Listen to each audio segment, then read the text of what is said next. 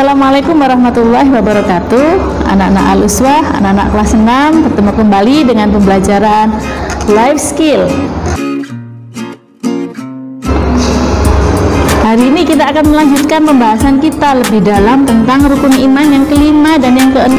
Penting sekali kita memperdalam kembali rukun iman kelima dan rukun iman yang keenam sebagai upaya untuk memperkuat akidah kita, mengokohkan akidah kita dan supaya kita lebih ringan dalam melaksanakan ibadah kita sehari-hari. Kita anak-anak ya, kita simak rukun iman yang kelima dan rukun iman yang keenam. Rukun iman yang kelima adalah iman kepada hari akhir atau biasa juga disebut dengan hari kiamat. Hari kiamat adalah hari yang pasti akan terjadi di eh, di mana semua makhluk hidup alam semesta yang sekarang kita tempati ini akan hancur dan eh, binasa ya kembali dengan Asmaul Husna yang kemarin bahkan kemarin kita bahas bahwa semua yang ada di alam semesta ini akan musnah, akan hancur, akan uh, hilang ya, kecuali Allah Subhanahu wa taala yang maha kekal. Perhatikan surat Al-Qari'ah berikut ini.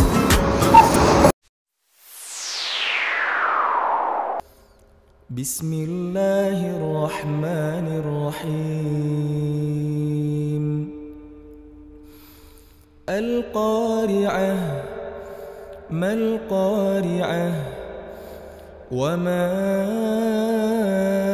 أدراك ما القارعة يوم يكون الناس كالفراش المبثوث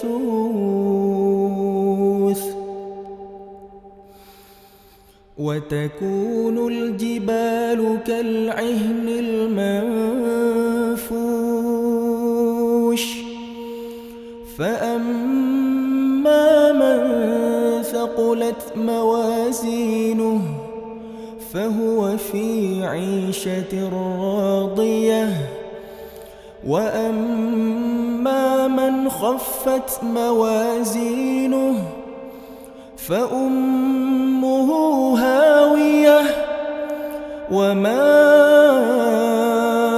أدراك ما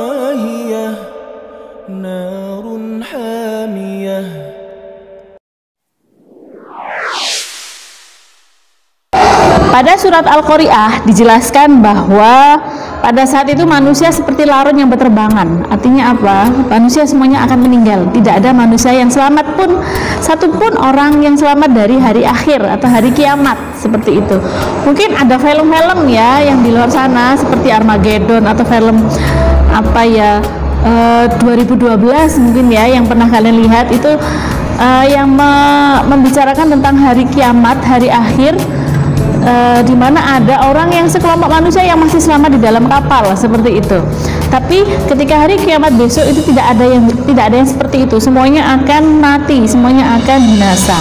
Seperti itu. Kecuali tentu saja kecuali Allah Subhanahu kecuali Allah Subhanahu wa taala. Ada dua macam kiamat yang kita ketahui. Yang pertama kiamat kecil atau kiamat sugro. Oke, okay? kiamat kecil atau kiamat sugro. Apa itu kiamat sugro? Oke. Kiamat yang pertama adalah kiamat kecil atau kiamat sugro. Kiamat kecil atau kiamat sugro ini uh, hancurnya alam yang ada di sekitar kita atau kita biasa menyebut dengan bencana alam ya. Ada banyak sekali bencana alam yang mungkin kita pernah mendengar beritanya. Contoh, gempa bumi, tanah longsor, banjir, gunung meletus dan sebagainya ada kiamat sugro atau bencana alam yang terjadi karena ulah manusia itu sendiri. Contoh banjir bandang misalnya atau banjir karena ulah manusia yang tidak mau menjaga kebersihan lingkungan serta tidak menanami kembali hutan yang gundul maka terjadilah banjir seperti itu. Yang kedua adalah kiamat kubro atau kiamat besar. Cara menghafalkannya kubro dari e, mempunyai arti yang mirip dengan akbar. Akbar adalah besar, maka kiamat kubro adalah kiamat besar.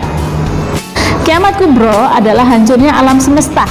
Tidak hanya bumi, tapi bintang, bulan, matahari, planet-planet, bahkan seluruh galaksi yang ada di alam semesta ini akan hancur bertabrakan satu sama lain dan hancur berkeping-keping sehingga tidak ada satupun makhluk hidup yang akan hidup pada hari kiamat kubro.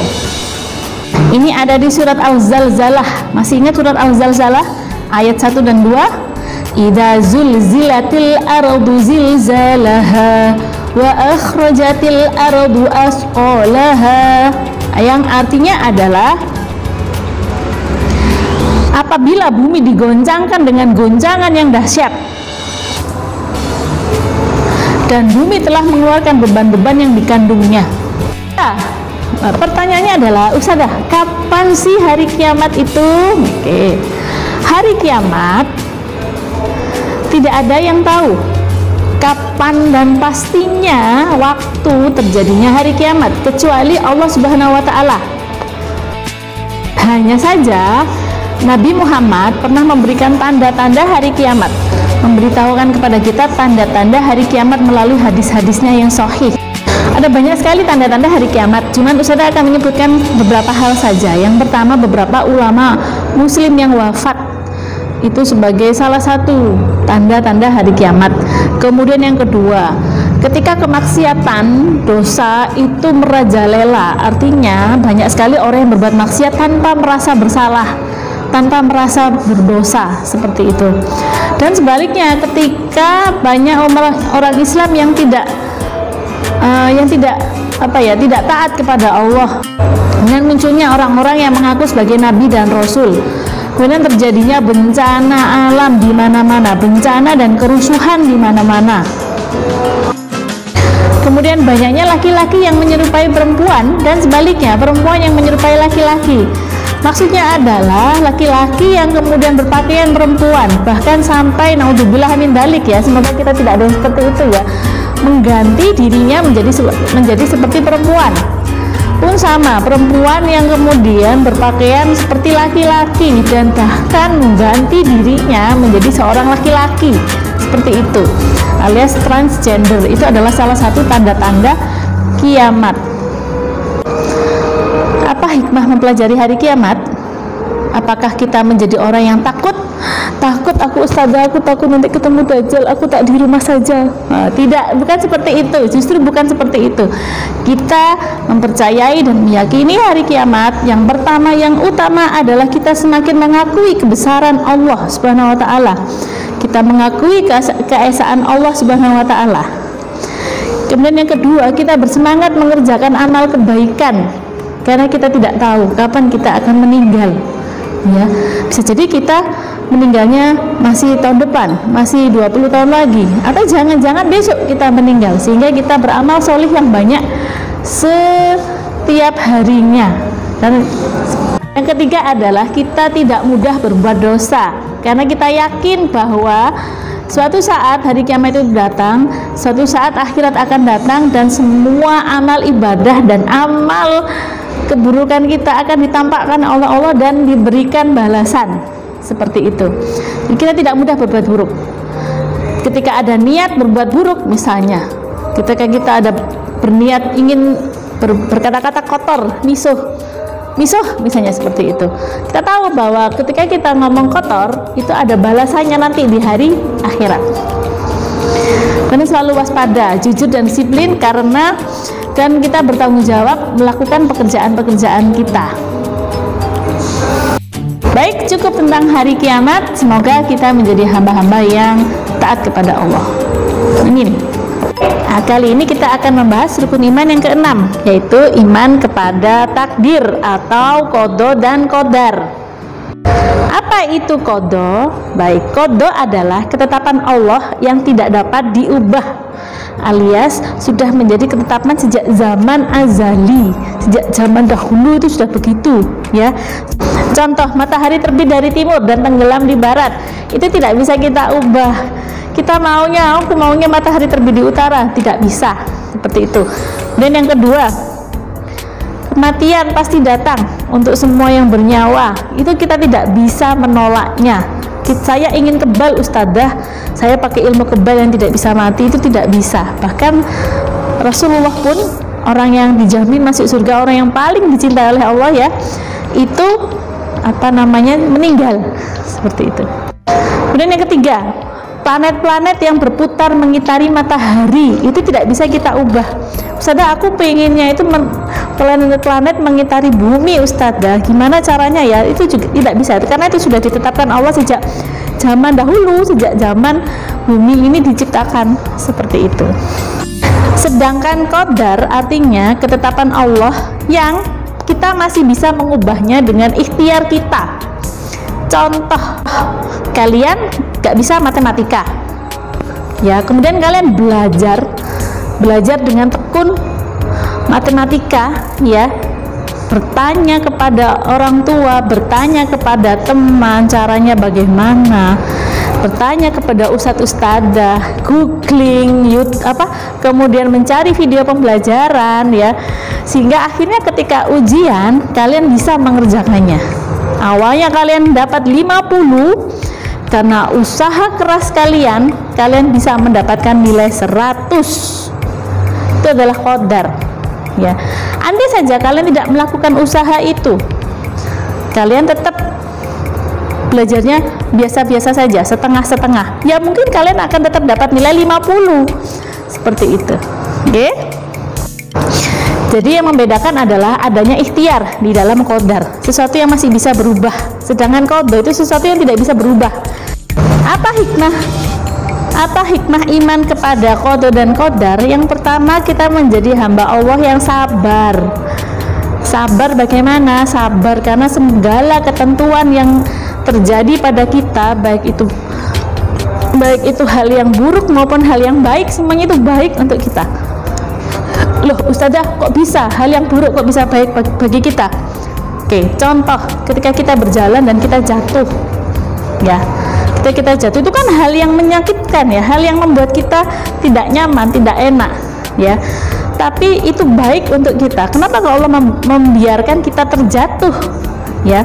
Karena Allah ingin kita bangkit karena Allah kita ingin kita kuat seperti itu. Dan Allah ingin kita hati-hati sehingga supaya ketika berjalan lagi tidak terjatuh lagi supaya ketika ada sakit lagi yang lainnya kita sudah siap bahwa oh ya ini sakitnya lebih ringan daripada yang kemarin. Seperti itu. Sabar. Kemudian yang kedua kita menjadi hamba Allah yang tawakal. Tawakal itu apa? Kita sudah bersungguh-sungguh melakukan segala sesuatu. Kita su sudah bersungguh-sungguh belajar. Kita sudah bersungguh-sungguh ikhtiar supaya bisa. Tapi ternyata Allah menakdirkan yang lain. Ya itu bagian dari tawakal kita berserah diri pada bahwa semuanya itu adalah ketentuan Allah. Apa pun hasilnya kita ikut lomba. Kita sudah bersungguh-sungguh tapi ternyata kita kalah di lomba itu ya. Maka anak yang beriman kepada kode dan kodar dia tidak akan protes tidak akan mudah sekali protes seperti itu. Dia akan menerima oh ya memang takdirnya belum belum menang ya seperti itu. Oke jadi pahami kemudian yang kedua yang selanjutnya adalah kita juga meyakini bahwa tidak semuanya yang kita inginkan itu akan terjadi. Tidak semuanya yang kita inginkan itu akan dikabulkan oleh Allah. Ya yang contohnya bagaimana? Ingin punya mobil. Ya ingin punya mobil. Aku ingin punya mobil sendiri Ustazah nggak tahu gimana caranya lu kan sudah punya mobil itu kan mobil orang tua aku aku pengen punya mobil sendiri aku berdoa setiap hari ternyata Allah masih belum memberikan mobil untuk kita karena apa? Karena Allah tahu kita belum bisa nyetir, belum punya SIM, belum dewasa, ya. Kita masih ribet dengan baju kita, alat-alat tulis kita masih banyak yang kehilangan. Bagaimana jadinya kalau kita punya mobil sendiri seperti itu? Oke, jadi pahami. Baik anak-anak, begitulah hikmah iman kepada kode dan kodar. Semoga kita menjadi hamba Allah yang taat kepada Allah, hamba Allah yang selalu berusnudon pada setiap takdir Allah. Tidak ada takdir Allah yang salah. Semua takdir Allah yang terjadi pada kita semuanya baik, semuanya benar, semuanya sudah pas sesuai dengan porsi kita ya tinggal kita bagaimana mencari hikmah dari setiap takdirnya do you get it? Oke okay. terima kasih assalamualaikum warahmatullahi wabarakatuh